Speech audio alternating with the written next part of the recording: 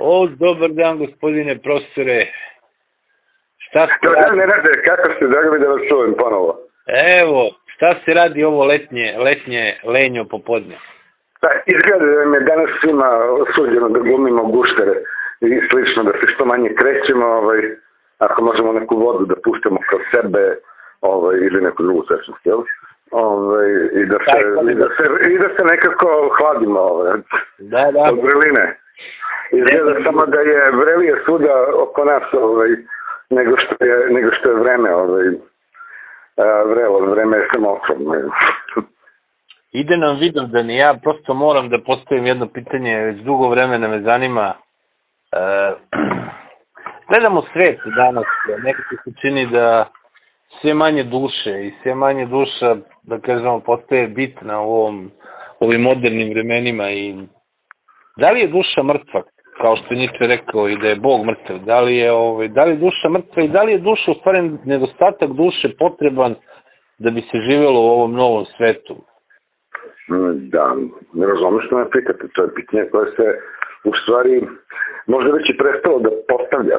Ovaj, mislim da su brojni razlozi za, taj, za jedan takav za jedan takav prestanak. E, Kad gledamo stvari sa nekakve, da kažemo, istorijsko objektivne situacije, ako tako pozicija uopšte može da se zasnuje, onda, onda kako vi pomenuste Nietzsche, tako meni pada čitav niz onda na pamet. Dakle, e, Nietzsche proglašava, ne, nije on lud, Ovaj, on proglašava da Boga više nema zato što ljudi više Boga ne veruju.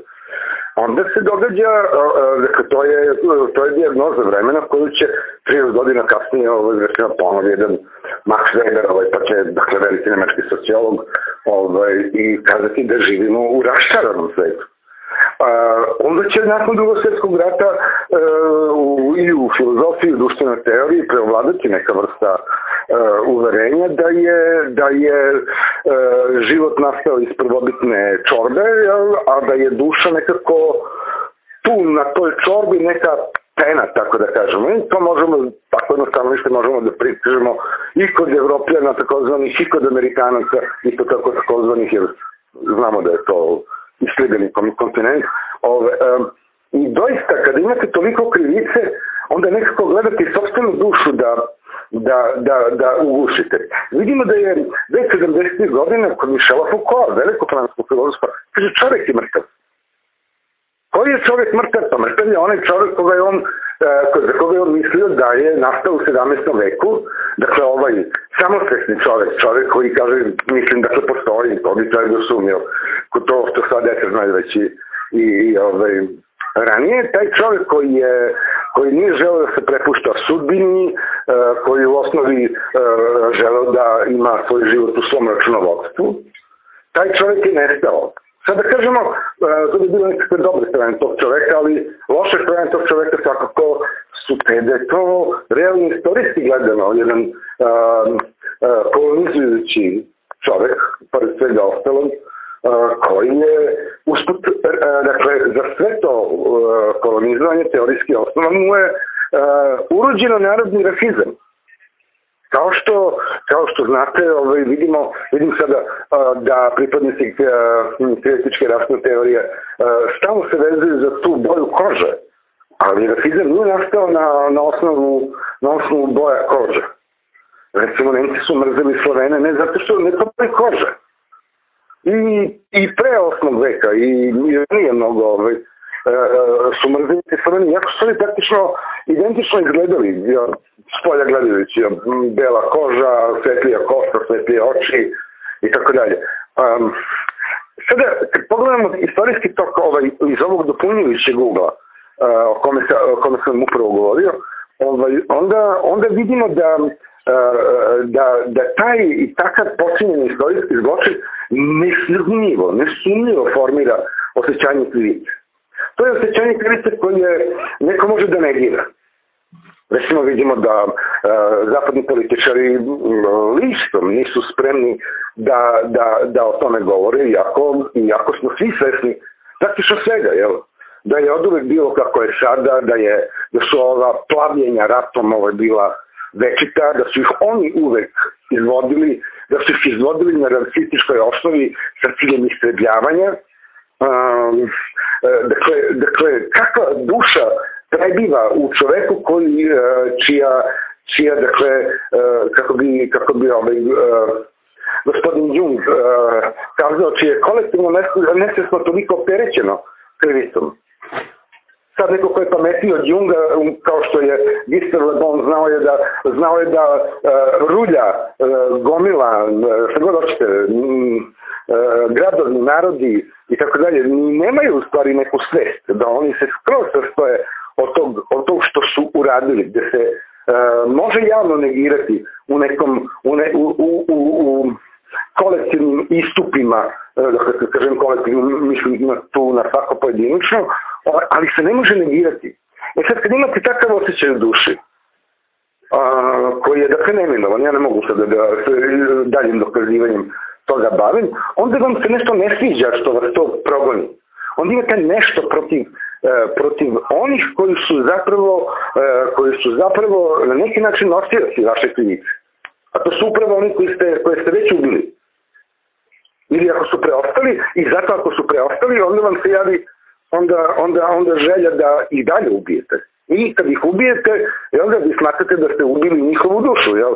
Ovaj, mislim da je, mislim da je Čepi Šešelj u svojom odbranama u Hadu imao pozivanje na knjeza Miškina, ovaj, koga vode, ovaj, dakle, na likvidaciju ovaj, i, i, na tu temu. Dakle, dakle, duša već sama po sebi je nešto uh, što je ranjivo da kažemo. I ono je ranjivo s obzirom na, na ponašanje subjektivnosti koja je nosila duše, jel? To je ovo sad neko svesno ja. I s toga jako vidimo prirodan stav da su zato životinje sa animalnom dušom, jel? Pošto one nemaju ovaj, da kažemo, simbolički moment, ili da kažemo, simbolički moment koji čoveka beskreno razdvaja zapravo od, od, od životinja, zato su ljubitelji životinja toliko i smešni. E sada, dakle, e, kad već imamo tu dušu koja je uvek moralno nekako orijentisana, ona je, ona je moralno orijentisana iz one perspektive iz koje moral kao takav, pošto ima i vezu sa idejom a, običaja, ovaj, a, a, oni, dakle, upravo ti običaji, to su ti postupci koji se redovno rade. I sad kad vidimo taj, taj moral, mi vidimo da, da god se zapad pojavio, da je istrebljivao. Oni su neka vrsta nesrećnika koji šta god da dotakne, ono umre. To, u, tom, u, tom, u tom smislu je neko prokletstvo koje to, koje to prati. I onda kad ste, onda kad ste u takvoj situaciji, onda su najbolji krivci, e, zapravo oni, najveći krivci zapravo oni koji su mrtvi, ali pošto su oni već mrtvi, vi ih ne možete ponovo ubiti. U tom smislu niste ih se domogli, nego ste ih prosto ubili, oni više nisu tu. Sada, sada dakle, njih više ne možete ubiti, vi ćete sad ubijati ako su neki drugi preostali. I sve dok ima tih drugih sa velikim D, ovaj, koji su diskriminisani u stvari, koji su druge boje kože ili sirotinja ili, ili, ili ne znam, a, a, a, pripadnici drugog naroda naprosto. A, znači, znači, onda se, onda se pokušava da se ratofilja te krivice time što nikoga neće biti u stvari da sve, da se, da se, da svedoci o toj krivici. Pobijte sve druge, te koji su zapravo uvek masakrirani, ubijani i onda ćete se osloboditi, osloboditi te krivice. Ona vas više neće proganjati kad uslovno ostanete sami. Te u tom smislu vidimo da da savremeni svet okrenut ka kolektivnom samoubistvu. Zato, zato vidimo već uh, mnoge ove uh, talking heads koji se, koji se pojavljuju po televizijama i komentarišu rat u Ukrajini, skoro kao nagon smrti da deluje. Ovaj, to, ta, ta apokaliptična uh, predstava atomskog rata nakon koga više ljudskih duša, tako reći, neće biti. E sad da vidimo dalje. E, e, u teorijskom pogledu potpuno je jasno da se sva dela koja se tiču takozvanog duha, a duša je izvedenica od reči duh. Pa to ima, pa ima recimo kod Niša to prezrivo posmevanje koje nije u stvari tek posmevanje nego smejanje u brk, tako da kažemo. Ovaj, kada govori za duh da je to prazan dašak, taj flatus votis, koji je, koji je zapravo, kako da kažem, neko ništa.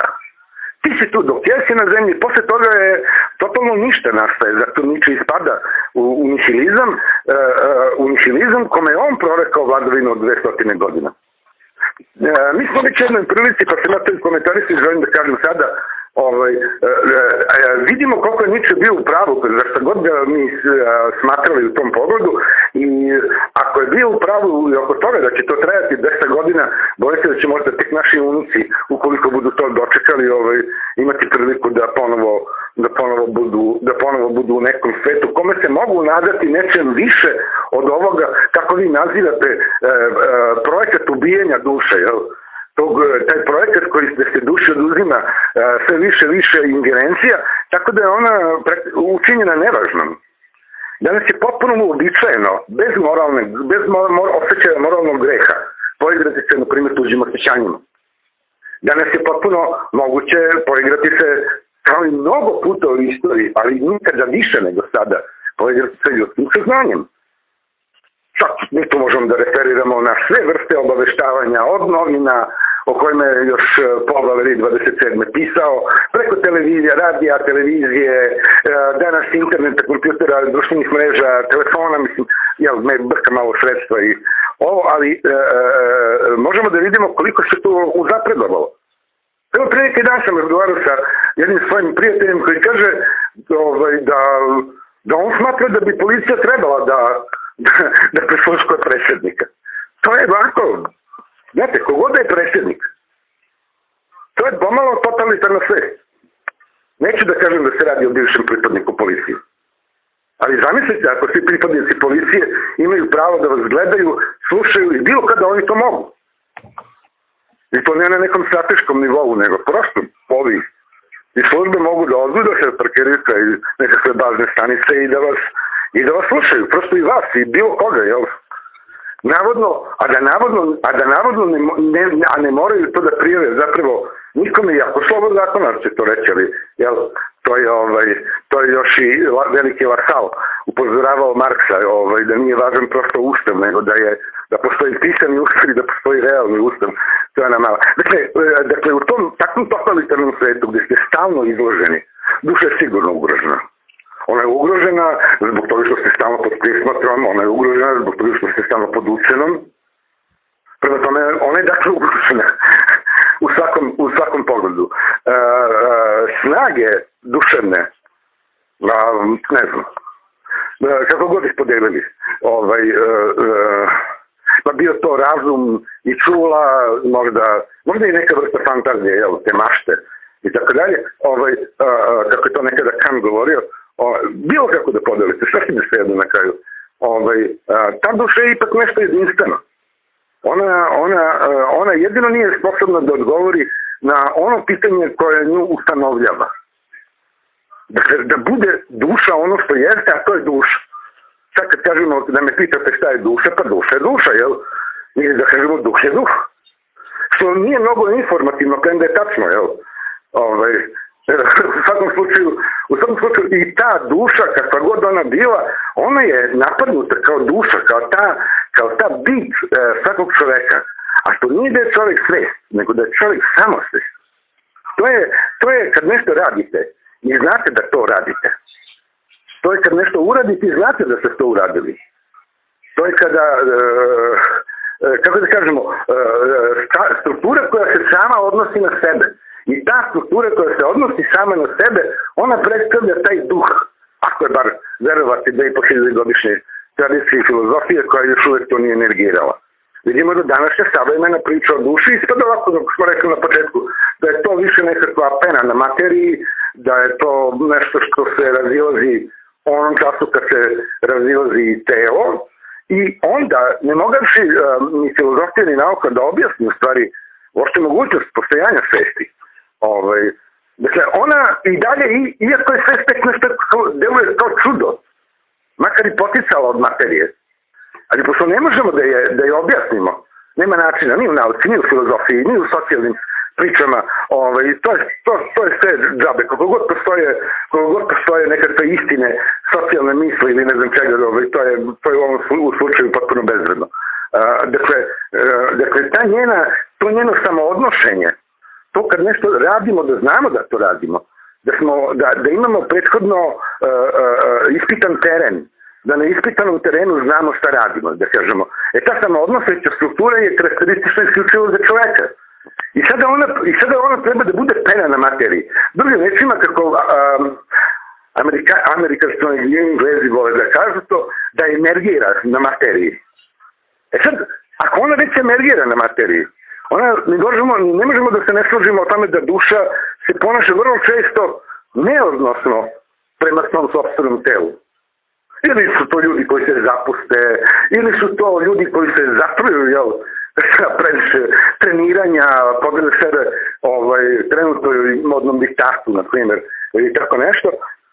I onda vidimo da je, i onda vidimo da izgube taj, taj samoodnoseći, samoodnoseći tu strukturu. Oni ne prede na kraj pameti. Tako da, e, e, to je recimo kada govorimo, na primjer, o samokritici. Znači, to da ja budem svestan toga šta sam uradio, da li to dobro što sam uradio ili pak ne, to je zapravo odlučujuće. Ako duša nije sposobna za taj akt, onda je veliko pitanje šta je od duše ostalo kao što ste vidjeli kazali na početku i onda se pitanje vidi kao smisleno. E sad vidite kako vam filozof odgovara, tako treba na kraju vraća vaše, vaše pitanje zapravo sa početka. Uh, ali, ali kao da sada nismo više bili na onom istom početku i da kažemo jer kad smo se na njega vratili, među vremenu smo neki put prešli. Kao da smo izvršili neku vrstu kruženja ovim, ovim razmatranjem kratkim, pa onda, pa onda u toj vrsti smo se vratili na neku početnu tačku, možda na višem nivou, možda na istom nivou, ja mislim na nešto, na, na nešto višem. I sada vidimo dakle, da nam prestoji nekakva situacija koju bismo mogli da nazovemo prosto egzistencijalnom ne samo što nam spolja preti neka, neki atomski rat koji bi nas fizički eliminisao sa planete, što je dakle jedan stari plan.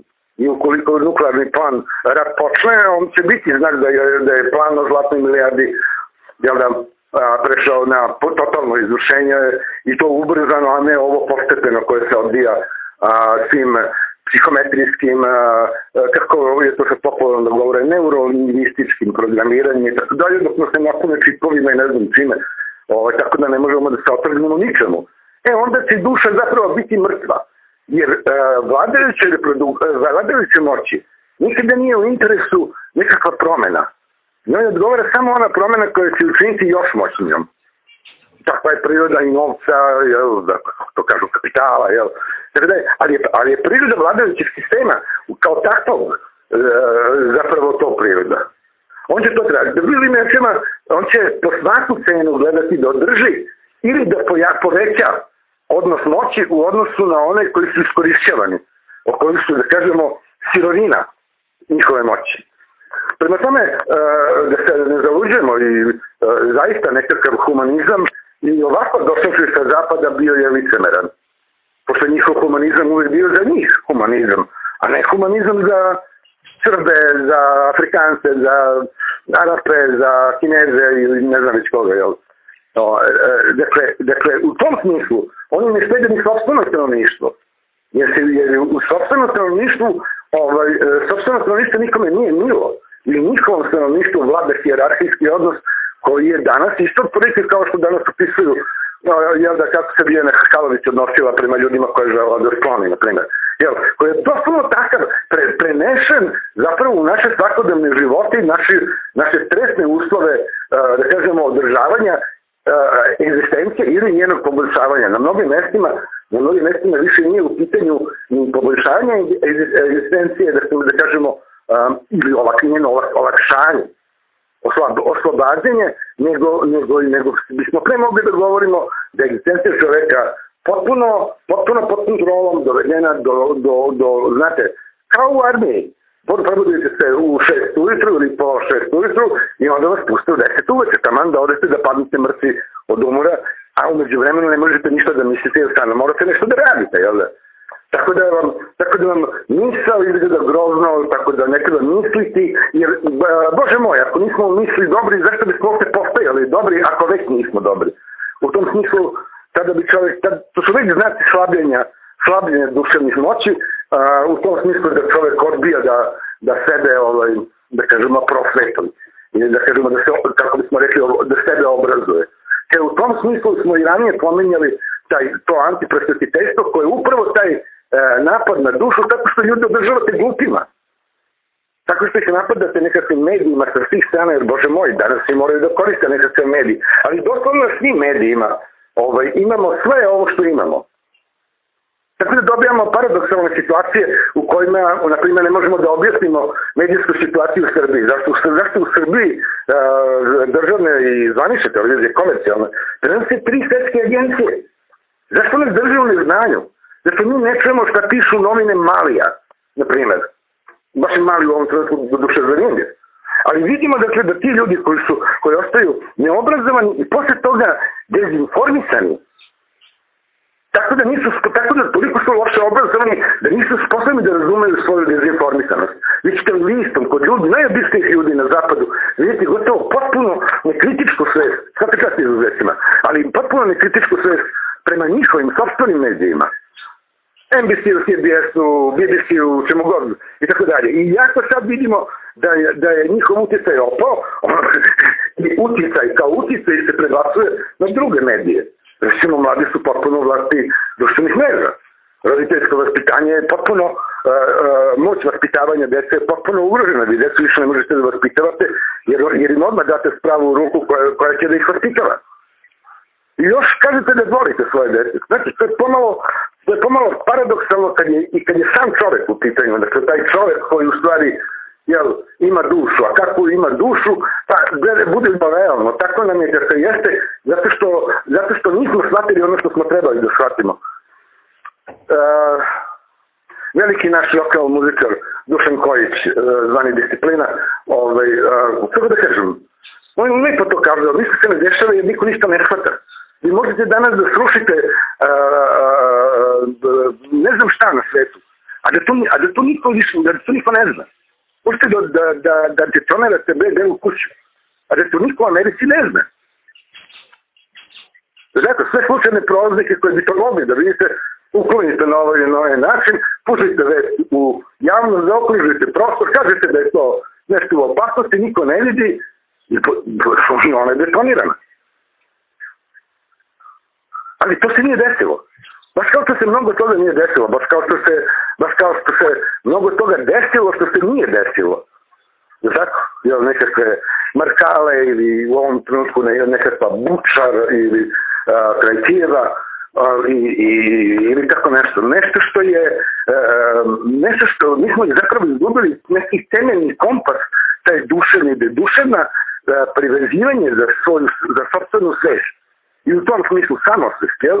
Ovaj, um, govori, da nam kritički govori o tome šta to vidimo, šta to čujemo, šta nam se govori kada, kad nam se govori, da razumemo šta je to oko nas, nešto što je, nešto što je potpuno, mogli bismo da kažemo, um, prirodno, ali ne u smislu ove biološke prirode, nego u prirodi čoveka, jel? Onoliko koliko mu je simbolička nešto, nešto prirođeno, jel? Ili da kažemo, svi koji rastu među ljudima dobiju simboličku svest, ovaj, toliko, toliko ta simbolička svest može da nestane. Da vi napravite ono što je nekad Aristotel nazivao ovaj, oruđa koje govore, to je robovi.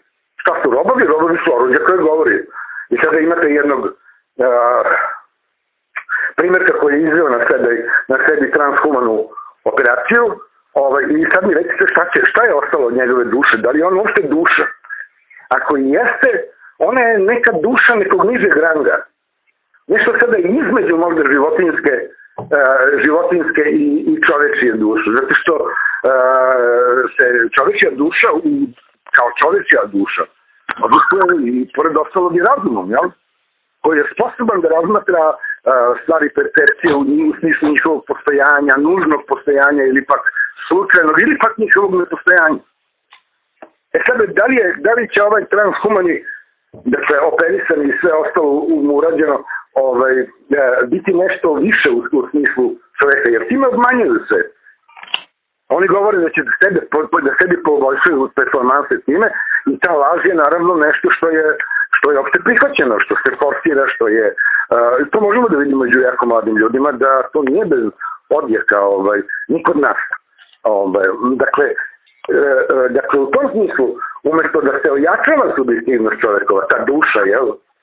Ta nežna duša, koja je sposobna da takve zločine i da toliko se žrtvuje za druge, ovaj, da ta duša prestane da bude takva, nego da bude prosto jedna operabilna a, a, celina koja će da koja će uredno da izvršava zahteve sistema, baš onako kao što moramo da izvršavamo biološke zadatosti tipa nagoni, tipa uh, dakle nagoni, biologija prosto. Ovaj, I kad već imamo biologiju, jel, ne, mi ćemo, ne, mi ćemo od duše napraviti nešto što više ne možemo da zovemo dušom, što će samo biti operabilno i to operabilno bez svog interesa, nego operabilno za tuđi interes. Za interes onih koji će i dalje ostati subjektivnosti i koji sad zamišljaju da će ostati subjektivnosti ako sa svim drugima tako postupe. Prema tome igra, uh, igra zločina uh, ima nekakve veze sa, sa, sa postojanjem, postojanjem duše. I doista ovaj, uh, vraćamo se iznova na, na taj početak. Neko, neko se ponaša u stvari, kaže, kaže da čovjek kaže, ponaša se kao da nema dušu. Znate, i to nekako ta duša je već nešto nečimo duhovljena. I tu vidimo da se u stvari ta običajnost, moral, jel? Da ne govorimo o etici, ona je već potpuno mrtva, ona je već samo nekakav tehnički pojam za američke biznis univerzitete. Ovaj, uh, znači da, da, da tu dušu upravo ono što je najviše odlikuje, a to je taj osjećajni deo, dakle onaj deo koji nije samo dakle, biologija, koja nije samo, gde nisu prosto informacije rezultat dejstva krajeva naših nervnih vlakana na mozak. Ovaj, dakle, neka, nego, nego nešto prošlo kroz razum. Nešto prošlo kroz već ono što je duhovno. Jer duhovno je shvatanje o tome da čovjek jeste, čim misli, da je on siguran u to što, u to što je. I ta vera od čovjeka modernog je zapravo stala danas. Zato Foucault proglašava smrt čoveka, uh, dakle 70. godina, uh, i kaže ne, čovjek je danas mrtav. Nazovimo to što će biti nekim drugim imenom. Kad vidimo ove transgendere, transhumaniste i sve ovi koji su u transu, onda možemo stvarno da kažemo da se, da se nešto podljudsko stvara od ljudi. Da nešto plemenitije treba da, od nešto plemenitije da napravimo nešto manje plemenito. U ime čega? Pa zato što to plemenitije je i samo sklono kvaranju na neki drugi način. A to, je, a to, je, a to je volja za moć. Koja je zapravo u nekakva prosto gotovo biološka stvar. Može da se, može da se deži. Nešto vrlo primitivno. Nešto što nam nije biologijom zapravo suđeno i čemu je lek u stvari ova simbolička svest koja je sposobna za govor, za društveni ugovor, kako je to nekada Rousseau govorio i tako dalje. E, e, e, prema tome, ovi koji budu nastali kao, kao primjerci izvedenih operacija transhumanizma, oni će veoma teško, mi smo za njih mogli zaista da kažemo da su to ljudi. To bi bio nekakav, da kažemo, zaista nekakav kraj čoveka ukoliko bi to postala masovna pojava, jel? Koliko god da to ima nekakve plemenite mogućnosti primjena ovoga onog u medicini, u stvari kada se to na silu primeni na masu subjekata, to je zapravo magnum crimen još jedan u istoriji, ovaj, među mnogim, među mnogim magnim krimenima koja je nemačka civilizacija napravila. Dakle, opet, samo da podsjetim, one koji će nas možda čuti, ovaj, da po tim podrazumevamo sve vrste takozvanih Germana. O, dakle, dakle, prosto se nalazimo pod, uh, u nekoj slepoj istorijskoj ulici, koja ako se pusti da ovako ide, a nije nužna, samo su oni za sebe tvrdili da je ona njima nužna da je to nužno, kao što imate kod Hegela, znate. E, ništa nisu istorijski narodi, niko nije bitan, e, to su u stvari bili jednom Grci, pa toga bili Rimani onda smo mi došli. E onda će se završiti istorija. I sad, dakle, koliko god je posupnjivan filozof, ovo ova stvar prosto bije u glavu. Onda sve ostalo, sve ostale subtilnosti tanke niti u velikoj meri mogu da posluže samo za opravdavanje tog krimena. Taj veliki filozof kaže u jednom trenutku, kaže, nismo se oslobodili od ropstva, koliko pomoću ropstva. Drugim rečima, oni su se oslobodili time što su kolonizovali druge ljude. onda kada je realno istorijsko, isto ropstvo nestalo u srednjem veku, oni su proizvili novo ropstvo u vreme, u vreme kolonijalnih osvajanja. Dakle, e, e, imamo, imamo e, degeneraciju ne samo ove mase ljudi, ovi kao vi i ja. Degeneracija se, degeneracija je opasnost po dušu upravo preti onima koji, već sam naveo osjećaj krivice, upravo preti da se onima, onima koji sprovode jednu takvu moć. Jednu takvu slepu moć koja, koja samo, koja je, kako da kažemo, nekakav svaštred koji u sebe trpa koji od, od moći traži uvek još više moći. Što vidimo i po njihovim, po njihovom, ne samo po njihovim filozofskim knjigama, nego i po njihovom istorijskom ponašanju, pa ako hoćete, vidimo i u ovim istorijskim, istorijskim periodima koji se nama sada dešavaju. Obično mišljenje da se to što nam se dešava, prvi put dešava, to ono uopšte nije tačno. To isto što nam se dešava sada i što će nam se dešavati, dešavalo se 90. Samo što se sada zahvatila, zahvatio teo svet, jel da, e, i tu perspektivu ne znam, ali prema nama je jednak odnos, jel? Mi ne pregovaramo sa vama, mi, vi samo treba da radite ono što mi kažemo. Ne radi, ne radi ono što ja radim, nego radi ono što ti ja kažem da radiš. Dakle, dakle nikakve, time, time se ukida svaka ravnopravnost. Ukidanje ravnopravnosti nije prosto nekakva ekonomska kategorija, iako on ima svoju ekonomsku bit neku. A, a, a, nego, je, nego, je, nego je ukidanje ravnopravnosti zapravo um, obeščovečavanje nekog drugog. Te, to, da on prosto nije duša. I zato pogledajte istorijski uh, rasizam kako ide. Ne, jedine duše smo mi. Mi Nemci, koji god, Englezi, Francuzi, Nemci, ovaj, uh, mi smo ti. A ovo to, ovi Sloveni, mislim, od njih smo napravili, njih smo napravili reč. Rob, slav. Na svakom njihovom jeziku ima, ima, ima taj koren. Tako da se u Brazilu govori ovaj, sa istim korenom osvojena. Znači, to je čist rasizam samo, oni nisu dobri kao mi. Dok mi volimo da idemo, da krademo, da pljačkamo i da ništa nikome, kao što se i dešava ovih dana, ne samo sa ruskim ljudima, nego, nego i sa njihovom imovinom, a imovinom pre svega, iako što vidimo užasan rasizam na delu u zapadnom svetu, upravo prema Rusima. U ovom času vidimo i među Slovenima da postoji šovinizam prema Rusima. Kad, kad su u pitanju, ovaj, to je onaj šovinizam koji je isti onakav, kako se nama dogodio od početka 90. godina. E sad, dakle, vidimo da u tom svetu e, na više nivoa ide. Oni nisu duše, to je jedan sloj, dakle, svi koji nisu na zapadu, to nisu duše, jel? Onda među nama, jel, postoje razlike. Mnogi među njima, recimo, obojeni. Jer rasizam može da poprmi tu dimenziju, s obzirom da prema upravo obojenim ima krivicu koju, upravo opisujemo, a nazivamo je kolonijalizam.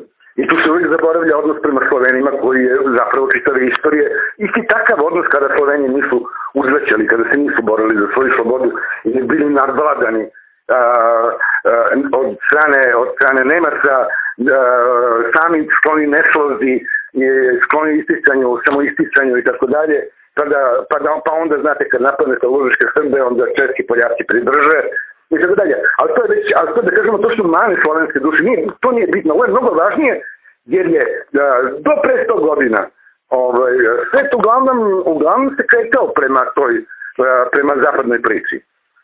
I u tom smislu možemo da kažemo i da je Huntington u pravu kada vidi, vidi, pa mi kad pogledamo mi u stvari sve manje kopna držimo na ovom svetu. 1920. smo imali 84%, vidi sad imamo 30 i nešto, u bogat ili ne znam koliko, i još nam se smanjuje. Tako da, e, ljudi koji gube moć su zainteresovani za uništavanje e, drugih duša. Smatrujući svoju dušu normalnom, ali jednostavno, da kažemo, no, da, upravo normalnom, prava reč, ovaj, normalnom, zato što je no, normalno uvek ono što potiče od norme, od ono kako treba. Smatrujući sebe, dakle, idealnim, odnosno kakvim treba, potpuno prilagođenim istorijskim iskustvom i stvorivši teoriju koja upravo opravdava takav poredak stvari, oni su dakle zainteresovani za ubistvo druge duša, a njihovo se u želji za moć, njihova se dru, e, duša raspala. To su sve nekada bili, svi moćnici su nekada bili uh, neki ljudi sa veoma malim željama, čije su se ambicije uh, toliko povećavale da je, da je ovaj, da, je, da, su, da su se potpuno izmenili. O tome zapravo govori takozvana slika Dorijana Greja. I tu bismo kazali dakle, da, da, da upravo počinjeno za ona, onaj deo duše koji nastaje od činjenja našeg. Onaj deo duše, taj, taj deo duše od onoga što smo učinili može da nas ubije. Znate, dedovi, e, šta god su pradedovi ili čukundedi radili, ovaj, nije to zaboravljeno. Kao što kod Hrvata nije u starstvu zaboravljeno. Nego naprotiv, celog socijalizma je ono, ono, ono u. Crkva uredno radila, uredno sprovodila ideološku um, edukaciju ja, sa malim uh, tek primjenim u Hrvate Hrvatićima, jel, i tako dalje. I to se nije promenilo, baš kao što je bilo u 19. veku. Dakle, osnovne sile istorijske su iste i nama se vrlo često događa ono što nam se već događalo, samo da kažemo drugim sredstvima, jel? A namere su uvek iste. Dran Hoffman, ovaj, da kad su u pitanju Nemci, Nemci. Ovaj, a vidimo da su tu i drugi zainteresovani za to veoma. Dakle, upravo sa te strane gde imamo danas tenzije, sa te strane gde oni žele da uzmu veliku rusku zemlju i pored i preko svega veliku rusku dušu. O velikoj srpskoj duši da ne pričamo. Veliku srpsku dušu koju, koju krasi taj prekrasni kosovski ovaj, zavet. O, e, e, znate, to, to sve da su Srbi najgori nju treba sačuvati. On je prosto e, narod koji, koji svoj identitet gradi oko činjenice da su za nas sve žrtve, žrtve. A ne kao za jevreje kojima se tako divimo ili za Engleze. Samo njihove žrtve su žrtve. Vidite ovu plemenitost gdje Srbi dižu spomenike svojim neprijateljima. To je vrlo sličan odnos kakvi su prvi prepisi ili Ade Odiseje koji su malo nestali iz ovih masovnih čitanja. Dakle, ono što, ono što je pisu ili Ade Odiseji nije ona prva koja je nađena u sedmom reku pre Hriste, iako govori o trojanskom ratu koji se dešava u 12. veku pre Hrista, ovaj, nego su još poznije ovaj, redakcije Ilijada Odisej i, i, i onda se vidi, možete, može da se primeti, o tome govore teoretičari, o Bože koliko zapravo navodni Homer divnih, divnih karakteristika daje trojancima koji, koji, koji, koji vide trojance kao jedan ozbiljan narod, jel, uvažava ih na, neka, na neki način. Nije cijelo vrijeme napisan, da kažemo, iz nacionalističkog stava kakav, ili rasističkog kakvog imaju Amerikanci, ako su Grci u svakom slučaju šovinisti u najmanju ruku, pošto smatraju se lošim nego sebe same, jel? Takođe. I to je, ta, to je taj deo iz grčke kulture s kojim se poistovjetio Zapad koji je to želeo da učini u 18. veku, dakle, vadeći se iza predmeta umetnosti ili ne znam čega, vi ste se zapravo obogatili e, takvim idejama da budete kao Grci, da budete najbolji, bolji od svih. Znači, to je dodatna doza samopouzdanja posle inače, da kažemo, urođenog njemačkog rasizma, koji je zapravo jedina, jedina ista, istina čitavog čovečanstva, tako da cijela, cijela kritička, cijela kritička rasna teorija potpuno pada, jer misli, ona najmja misli da se rasizma, kod rasizma radi o boji kože. E dakle, e, te duše o čim se životima radi, a mi smo te duše i ja, ovaj, često smo nesposobni da se odbavimo od svega što nam, što nam, što nas popada sa strane. Pretjerenim pozivima telefona, obavezama koje ne moramo sebi da zadajemo. Znate, ovaj, običan telefon niste morali da dignete. Ne, da, mogu ste kažete, bio sam negde. Znate, imali se neku vrstu privatnosti. Znate, šta vedi kad su okolnosti u svetu takve da preovlađuje čvrsta totalitarna misao koje gaje sve policije i sve vlasti na svetu, ovaj, sve možda nekoliko država, a to je da ste potpuno providni. Da više uopšte ne možete čak ni da, čak, uh, bit ćemo u situaciji da nećemo moći da načinimo zločin jer ćemo nužno biti uhvaćeni. Prosto će sredstva da budu toliko razvijena da samo oni koji budu onda super kompjuterski majstori koji su se odmetnuli iz ovih ili onih razloga će moći da se ispoljavaju. A naš identitet je onakav kakav, kakav nam je Baudrillard opisao i u 70. godinama još. A to je da je čitav naš identitet postao nekoliko tačkica na ekranu, ovaj, da drugim rečima username i password, ovaj, to je ceo naš identitet. Tako prazan. O kome se, o kome, o kome, o kome, koga mi mislimo da možemo to, da nas niko ne vidi, da, da nešto sami za sebe radimo. Ne! Sve što, sve što uradimo kad odemo na internet, jel da, onamo se čizmo na internetu, prvi čita fajl onoga što gledamo. Neko zna ko smo i šta smo, drugim rečima. Pod ovim ili pod onim interesom on će, on će da vidimo bezbrojne mlade ICL-ce koji se bave tri, trivialnim poslovima raznog prepoznavanja, raznog identifikacija ljudi i svega ostalog. Znači, kontrola koju su progasili dakle 70. godina još, dakle da, je, da su prestala više dobar ljudskih prava, nego je došlo vreme kontrole, bojim se da upravo ta kontrola je izmakla kontroli i da u tom smislu kontrola kao kontrola, budući da u rukama nosilaca vlasti velikog objektivnog poredka stvari, dakle Amerikancima i ovim nesrećnicima, dakle, da je ta kontrola izmakla. I sada je sve providno, znači nemate, a, više, vi više ne možete da budete privatni. Znate?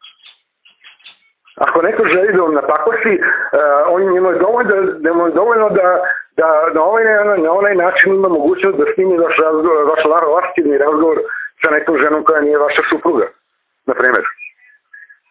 Sve da samo ucenjuje. E, prema tome, to, to je ono što ugrožava, što ugrožava, da kažemo, egzistenciju, egzistenciju i da kažemo slobodnu egzistenciju duše. Duša će morati da se tome na neki način odupre da bi ljudi još ostalo, da kao što smo vidjeli, deformiše se i na jednu i na drugu stranu. Dakle, imamo tolike monstruoznosti. Jer monstrumi pateći od, od teškog osjećanja krivice, onako smrtom, on, nekad ne mogu da čine samo veće zločine od onih koji su, koji su učinili. Vidimo da danas više niko ne govori o slobodnoj štampi, o slobodi štampe. Ljudi potpuno se zabranjuju po volji što god hoće. Ponovo uvedena ona 19. vekovna engleska cenzura, nekada kad imate one novine sa, sa, sa, sa crnim poljima, jel, koja su, koja su dakle, na neki način m, a, prekrivena, jel? Je trag njihov. Trag im je to da, to da vi to ne vidite. Ovaj, I na neki način ova kod kultura otkazivanja, to što nazivaju cancel culture, što, se zapravo primenjuje globalno u ovom slučaju na Ruse, jel? I generalno na Slovene, gde smo mi otprilike drugi posle Rusa, ovaj, To je, to je, ta, to je, ta, to je ta totalitarnost u kojoj smo upali, sve tvrdujući da je neko drugi, znate, totalitaran. Bio je totalitaran Hitler, bio je totalitaran Stalin, ali nije bilo totalitarna Engleska. O Bože moj! Ili američke države. Kakva istorijska laž. To se, to se, to se naprosto i taj rad na dušama.